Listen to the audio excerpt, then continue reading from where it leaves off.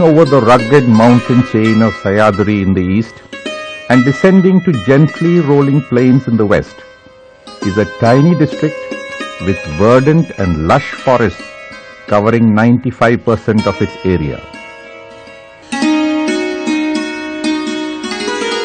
Not being caged in brick, wood and iron, the traditional communities which reside in these forests live a life in complete harmony with nature. The experience of life in the forest has made it abundantly clear that nature is the source of light and air, of food and water, and of natural medicine, the knowledge of which has been passed down from time immemorial. Welcome to the tribal land of Dangs in Gujarat. The hilly landscape of the Dangs is home to a rich and diverse variety of flora and fauna. Amidst the fast-flowing rivers, numerous waterfalls and lush bamboo brakes, the soft mists and the cool climes of this unique environment make it ideal for the profligate growth of trees and plants of teak, sajad, bamboo and an astonishing variety of important medicinal plants.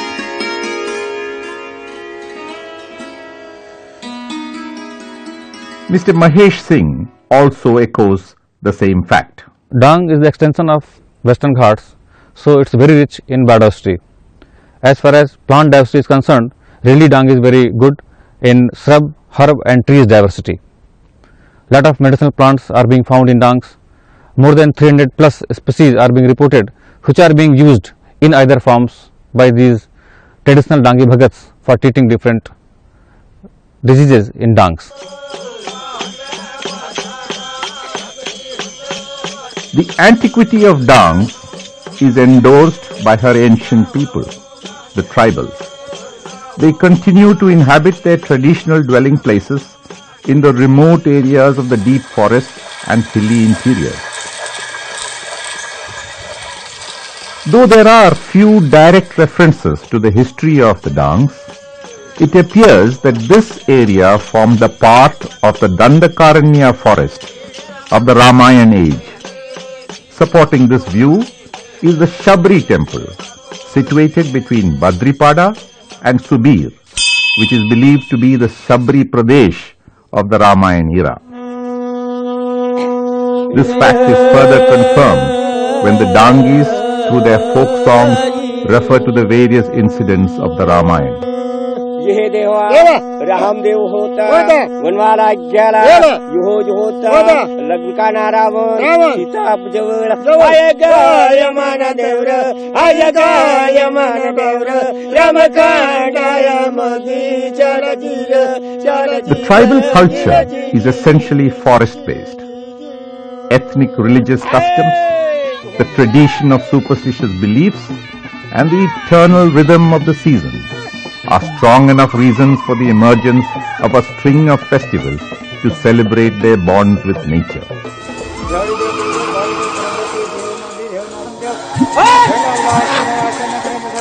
Their language is primitive and they believe in a supernatural world containing both good and evil. Their constant fear of the spirits only reinforces their faith in prayers, rituals, offerings and sacrifices.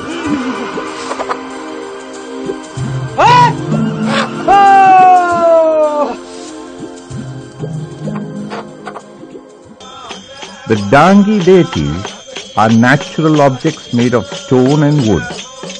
The sun and the moon are referred to as Suraj Dev and Chandra Dev. The diet of the Dangis depends on forest produce. Food grain called Nagli forms an integral part of the Dangi's daily consumption. The Dangis are surrounded by and closely associated with the life of the forest. This intimate relationship between human life and nature has become their source of knowledge. And nowhere is this more evident than in their grasp of the healing properties of plants and herbs, the genesis for the oldest healing system in the world, Ayurveda.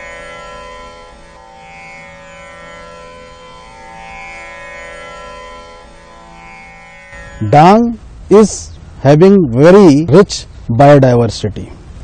In Gujarat, so far 915 medicinal plants have been recorded out of 249 plants alone found in Dang district. The Dang district cater the need of the all the pharmaceutical industries of Gujarat. The Dang is the natural laboratory of medicinal plants as well as other flora and fauna. Natural medicine has been an integral part of tribal life. Health safeguards from locally available sources are style and food habits. In abundance in the Dangs is the bamboo. Consumption of tender bamboo has been an important part of the tribal diet. During the season of plenty, the natives consume tender bamboo in abundance and then store it in pickled form for consumption for the rest of the year. It is believed that the tender bamboo gives resistance against various diseases like cancer. This district, I have already come to a conclusion, of course based on certain presumptions, that doesn't have at all cancer precedence, incidence of cancer. The reason being the people take tender bamboo. This habit of uh, swallowing the bamboo in, in, terms of pickles or in terms of tender bamboo has led to a lot of uh, disease free, uh, cancer free phenomena in this district and I think we have to only, science and research has only to causally relate both the phenomena to each other. Natives use herbs for all kinds of diseases and psychosomatic disorders. The Bhagat, who is considered to be the friend, philosopher, guide and healer, is the local medicine man. He is fully conversant with the uses of medicinal plants. In the villages of the Dangs, this local doctor is often the only person who knows the availability of the medicinal plants and the medical use of individual parts of the plant like the bark, pulp or roots for the treatment of specific disease. There are many Bhagats and Buas in the district who have been treating different diseases using their traditional knowledge since ages. For the documentation of their traditional knowledge as well as training new people, we have started a project called Guru Sishya Parampara. These Bhagats play an important role in the lives of the tribals. So in fact in our uh, routine health programs we try to involve these Bhagats so as to create awareness among the people. Uh, in the past also we have kept special training programs for these Bhagats for their capacity building. A journey through Dangs would be incomplete without a closer look at some of these life-giving plants. The Arjun tree is one of the widely used medicinal plants for cardiac ailments. It is botanically known as Terminalia arjuna. The powder of the bark is made into a decoction and is given as a medicine. A reference can be found to this treatment in the ancient book of Indian medicine, Charak. Botanically known as Rauwolfia serpentina, the Sarpagandha is a very effective medicine for hypertension and insanity. The root of this herb is rich in medicinal properties and is widely used in Ayurvedic medicine. The Safed Musli herb is botanically known as Chlorophytum borivilianum and grows in abundance in the forests of the Dangs. It is the root of this herb which contains the medicinal properties and its extract is used as a health tonic by the Dangis. One finds its literary reference in the ancient book called Nighantu Adarsh. Jungli kale or chow as it is locally known, Musa is a plant that appears like a small banana tree. The Musa finds its literary reference in Nighantu Adarsh.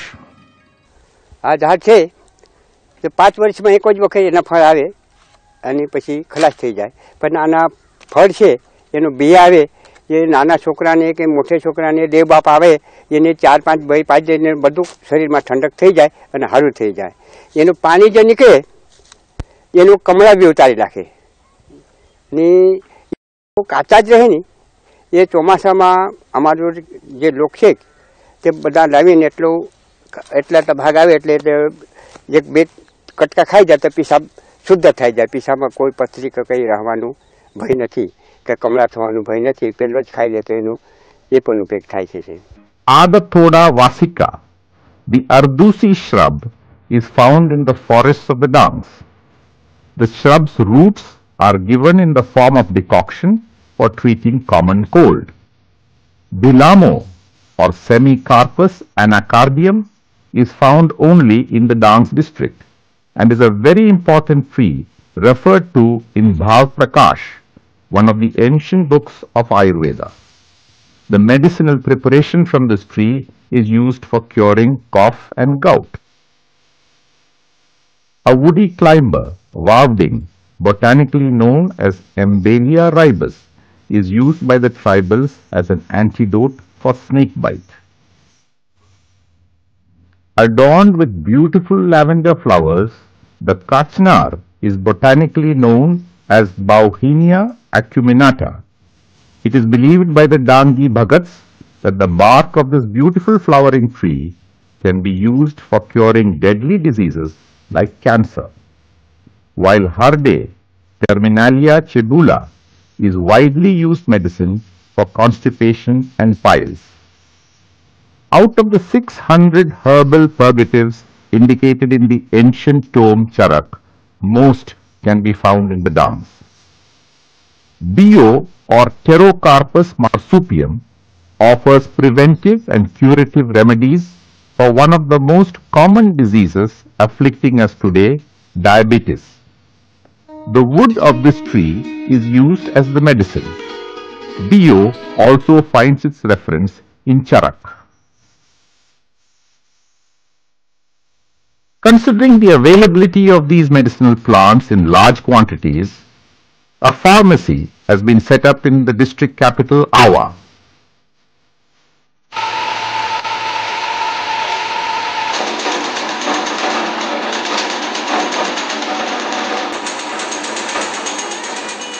Most of the raw material that goes into the making of the medicines in this pharmacy is procured from the forests of the Dangs.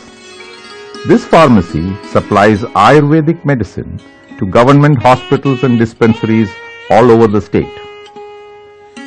According to the World Health Organization estimates, 80% of the world's population uses herbal medicine.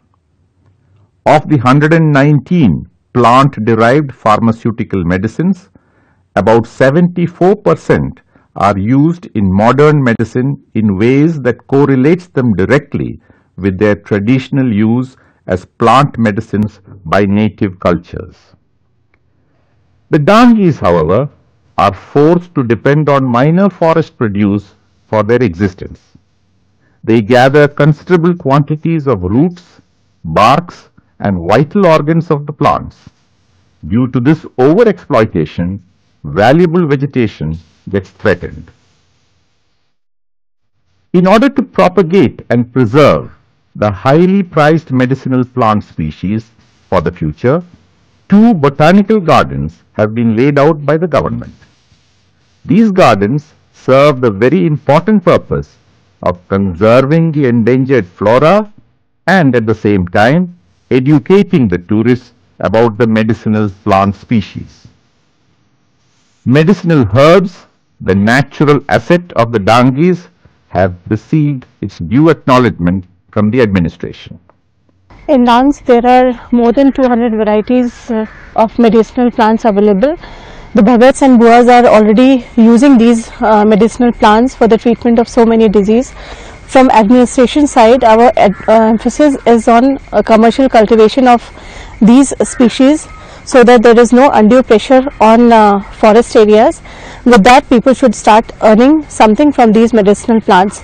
In the first phase, 25 species of medicinal plants have been identified and the commercial cultivation has started, nurseries have been made and from the next year some of these species are Savet Musli, Ashwagandha, Harde, Ashoka. So our emphasis is basically to promote these medicinal plants cultivation cultivation and with that people should start some livelihood from these plants. The people of forest areas are giving the rights and privileges. Accordingly, they are collecting minor forest produce and non-wood forest produce from the forest areas and they are exploiting lot many roots, bark and other vital organs of the plants by which lot many plants are getting threatened. So there is a urgent need to identify all the medicinal plant species which are endangered and need to be cultivated and preserved in nature.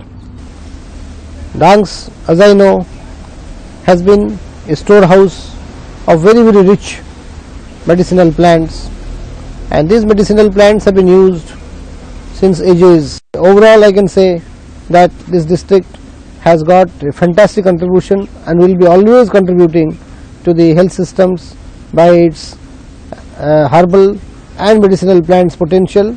There are certain chronic diseases which only respond to the medicinal plants and they being very copiously found very very widespread in its own uh, region in this region I am sure the costs should also be cheaper and there would be also a reversal of dollars to this country because people would like to come and have cheaper systems for chronic diseases than to be admitted in hospitals and spend dollars and millions of rupees. The tribals, who are really the children of the forest, have inherited a treasure chest of knowledge in their age-old wisdom. Their health, wealth and culture depend on the forest. The culture of the forest has enriched the culture of Indian society. There is a need to protect and preserve the tribal knowledge system. Serious effort is required to evaluate tribal medicine and to reinforce the positive aspects of local health traditions.